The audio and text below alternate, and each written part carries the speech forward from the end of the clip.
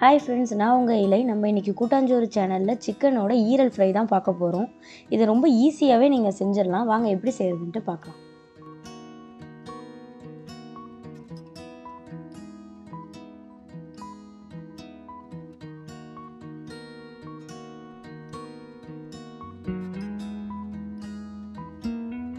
நம்ம இப்போ தோசைக்கல்லில் தான் செய்ய போகிறோம் கல் சூடாயிடுச்சு. இப்போ கொஞ்சமாக வந்து நல்லெண்ணெய் ஊற்றிப்போம்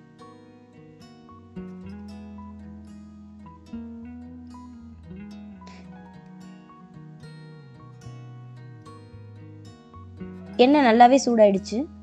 இப்போ நம்ம பொடிசாக நறுக்கி வச்சுருக்க வெங்காயத்தை ஆட் பண்ணிப்போம்.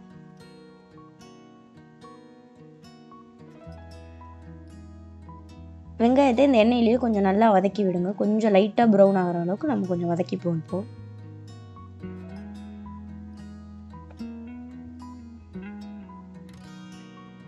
இப்போ ஒரு ரெண்டு பச்சை மிளகாவை சின்ன சின்னதாக அரிஞ்சு ஆட் பண்ணிக்கலாம்.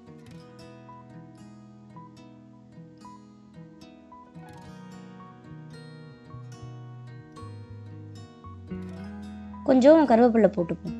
இதில் வந்து கருவேப்பிலை வந்து நல்லாவே வாசனை கொடுக்கும் நமக்கு. இஞ்சி பூண்டு பேஸ்ட் கொஞ்சம் ஆட் பண்ணிக்கலாம்.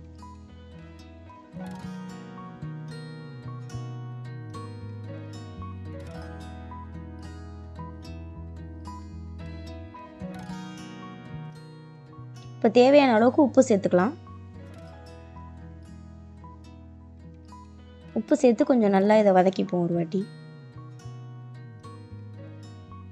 கொஞ்சம் நல்லாவே வதங்கிடுச்சு. இப்போ வந்து நான் ஒரு டேபிள் ஸ்பூன் அளவுக்கு வெறும் மிளகாத்தூள் ஆட் பண்ணிக்கிறேன். இதை ஏன் நான் எண்ணெயிலே இப்போ ஆட் பண்ணுறேன்னா உங்களுக்கு அந்த மிளகாத்தூளோட பச்சை வாசனையும் போயிடும். அந்த மிளகாத்தூளோட கலரும் வந்து நல்லா நம்மளோட டிஷ்ஷுக்கு கலர் நல்லா எடுத்து கொடுக்கும்.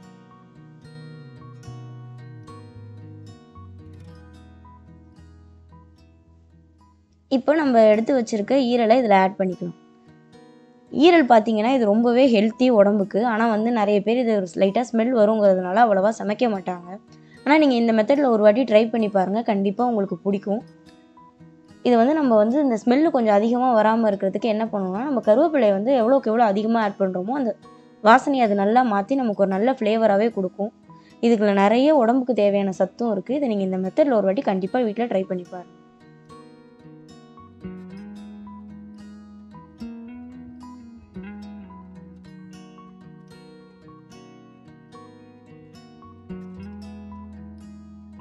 ஈர லைட்டாக எண்ணெயில் வெந்துருச்சு நான் இந்த டைமில் வந்து காரத்துக்கு ஏற்ற மாதிரி இன்னும் கொஞ்சம் மிளகாத்தூள் ஆட் பண்ணிக்கிறேன்.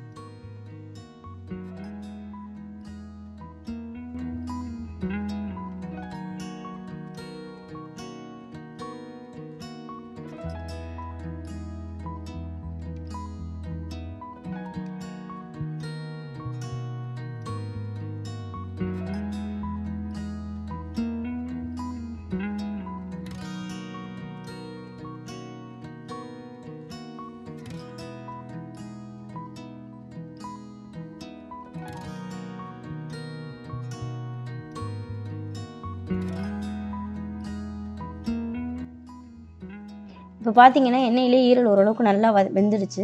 இது வேகிறதுக்கு ரொம்பலாம் டைம் எடுத்துக்காது. ஒரு அஞ்சு நிமிஷத்துலேயே நல்லாவே வெந்துடும் நான் இப்போ இந்த ஸ்டேஜில் வந்து கருவேப்பிலையை இன்னும் கொஞ்சம் ஆட் பண்ணிக்கிறேன். நம்ம இப்படி லேயர் லேயராக கருவேப்பிலையை ஆட் பண்ணும்போது அந்த ஈரலோட ஸ்மெல் சுத்தமாக போய் நமக்கு கருவேப்பிலையோட ஃப்ளேவர் நல்லா எடுத்து கொடுக்கும்.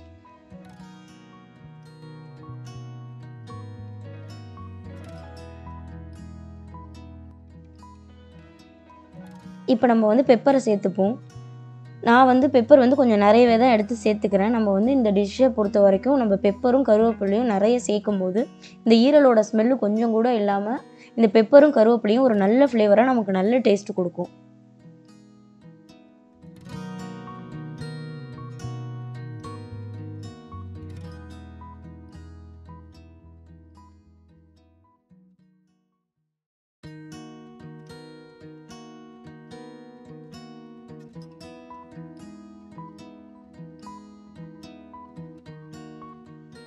அவ்வளோதாங்க நமக்கு இந்த ஈரலை வந்து நம்ம சட்டினி இப்போ செஞ்சே முடிச்சாச்சு.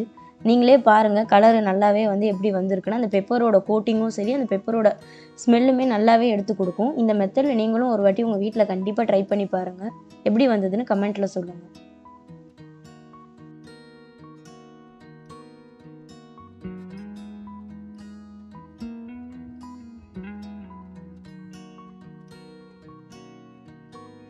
இப்போ நமக்கு ஃபுல்லாகவே ரெடி ஆகிடுச்சு நம்ம இறக்குறதுக்கு முன்னாடி இன்னும் கொஞ்சம் கருவேப்பிலையை நம்ம நான் வந்து கருவேப்பிலையை இந்த வாட்டி கட் பண்ணி போட்டுக்கிறேன். கொஞ்சம் இன்னும் அதோடய ஃப்ளேவர் வரதுக்காக கட் பண்ணி போட்டு இப்போ நம்ம இறக்கிப்போம்.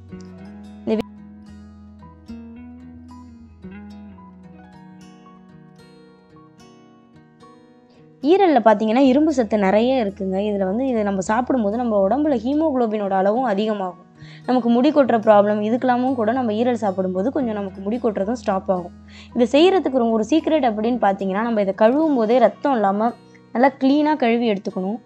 அதே மாதிரி நம்ம செய்யும்போது கருவேப்பிள்ளையும் பெப்பரையும் ஓரளவுக்கு அளவுக்கு நம்ம நார்மலாக செய்கிற டிஷ்ஷை விட கொஞ்சம் அதிகமாகவே இதுக்கு போட்டு செய்யும்போது அந்த ஈரலோட ஸ்மெல்லாம் இல்லாமல் நமக்கு இந்த டிஷ் வந்து ரொம்ப நல்லாவே கருவேப்பிலையோட ஃப்ளேவரும் பெப்பரோட ஃப்ளேவரும் சேர்ந்து ரொம்ப டேஸ்ட்டாகவே கிடைக்கும்.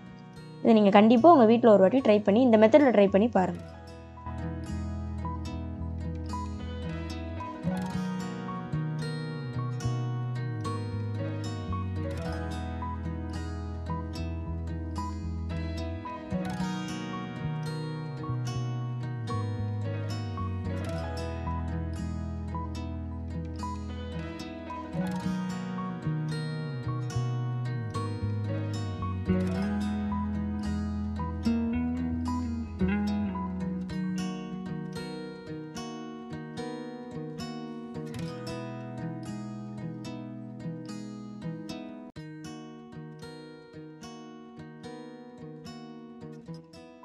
இந்த வீடியோ உங்களுக்கு பிடிச்சிருந்தா கூட்டாஞ்சோறு சேனலை லைக் பண்ணுங்கள் ஷேர் பண்ணுங்கள் மறக்காமல் சப்ஸ்கிரைப் பண்ணுங்கள்